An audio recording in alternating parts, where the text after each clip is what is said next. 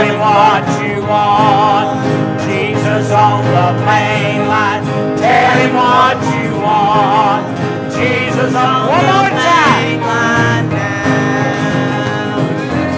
Call him up, call him up.